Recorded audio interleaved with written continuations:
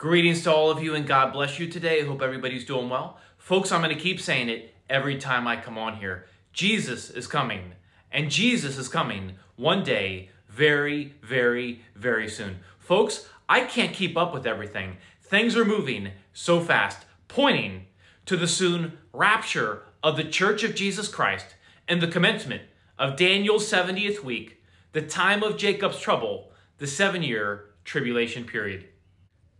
If you've been watching my videos, recently I just did a video on King Charles and how his coronation is supposed to happen uh, this coming Saturday, May 6th. And I tried to connect the dots with you guys on how King Charles is connected to the whole Great Reset agenda, which is basically, again, where they want to reset the entire world, talk about a new world order, and how he's a huge pusher of and promoter of Agenda 2030, how they want to have a one world government in place uh, by the year 2030, but they've recently come out and said that they want to accelerate Agenda 2030.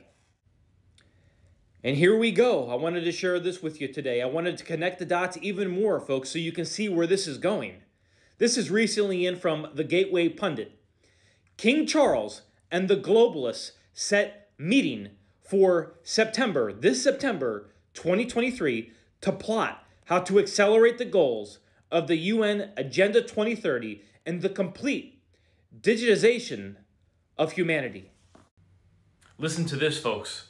The World Economic Forum and United Nations are so concerned that the goals of Agenda 2030, sustainable development, and the Great Reset are in jeopardy and not being fulfilled by the appointed date that they have called for a summit in September this September of 2023 to discuss how they can kickstart their stalled totalitarian agenda.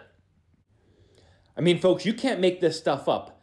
The United Nations is involved in this. You have the United Nations, King Charles, Klaus Schwab, which is the executive chairman of the World Economic Forum. You're also going to have Yuval Noah Harari and other world leaders, globalists, and elite that will be in attendance at this coming summit, which is going to be held this September 2023. Connect the dots. They're all connected, folks.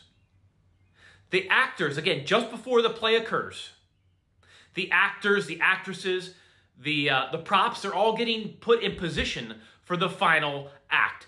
The empire of the Antichrist is coming, folks. The rapture of the Church of Jesus Christ will occur before the Antichrist is revealed and before the tribulation period begins. However, we are continuing to see all these players aligning together, just like this summit that's going to be coming in September. Again, you're going to have King Charles, the United Nations, Klaus Schwab, Klaus Schwab, the executive chairman of the World Economic Forum, Yuval Noah Harari, and other globalist world leaders and elite all gathering together this September 2023 to talk about how they're going to accelerate the implementation of Agenda 2030. And when you look at the Great Reset Agenda and Agenda 2030, folks, this has tribulation written all over it. And that's where this is all headed, folks. And if we see the actors, the actresses, the props continuing to all be put in position for the final act, for the coming empire of the Antichrist. And we know that the rapture of the Church of Jesus Christ needs to occur before the Antichrist is revealed and before the tribulation period begin. How close are we to the rapture? I would say a lot closer than people realize. And all I can tell you is if you're watching this video right now and you don't have Jesus Christ in your life, just look around the world right now at everything occurring and look at what your Bible says. You will see several things are true. The Bible is real. The Bible is alive. Jesus is real. Jesus is alive. And Jesus is coming back, and he is coming back one day very, very, very soon. This current world order, it is sinking, and it is sinking fast, just like the Titanic. You need to get on the lifeboat right here and right now. That lifeboat is Jesus Christ and him alone. I'm not telling you to get religious. I'm telling you you can be saved right here, right now, as you're watching this video. Now is the accepted time. Now is the day of salvation. What do you have to do to be saved? The gospel of your salvation is found in the book of 1 Corinthians, chapter 15, verse 1 to 4. Believe. You're believing Jesus Christ died on the cross for your sins. The sin debt that you could never pay on your own, Jesus Christ paid it in full with his blood on the cross so you could be reconciled back to him, forgiven of your sins, and be with him forever in heaven. So you're believing Jesus Christ died on the cross for your sins.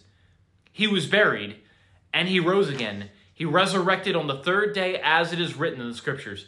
That's the gospel of your salvation. If you're still confused, here's the bottom line.